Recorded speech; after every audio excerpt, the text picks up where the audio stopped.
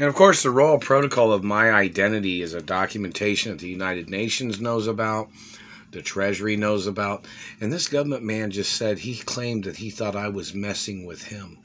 Every person that ever accuses me of messing with them must get arrested. You don't, you don't seem to understand. I don't go to people's houses. I don't hang around or go looking for people.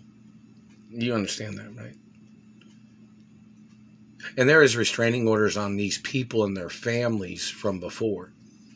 Now you understand this, right? These people have tried to claim, like this man just communicated. He said, he said, see what you get for messing with him. Now I don't even know who you are. I don't know your phone number. I don't know where you live. But you've been spying on me all these years with satellites. So when you're found guilty, you are going to face the death penalty for accusing me of messing with you when I don't mess with nobody. I don't play pranks and shit faggot games. You're the one that's been hitting me in the tailbone and hitting me in the face and teeth all these fucking years.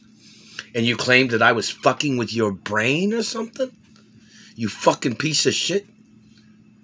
You need to get the fucking death penalty, you fucking terrorist. You better watch your own fucking mouth and quit staring at mine with your fucking satellite. And you better quit making up your fucking lies because you're going to be put on trial for the death penalty for trying to murder me by making up accusations on me. You claim somebody was messing with you? Who the fuck are you?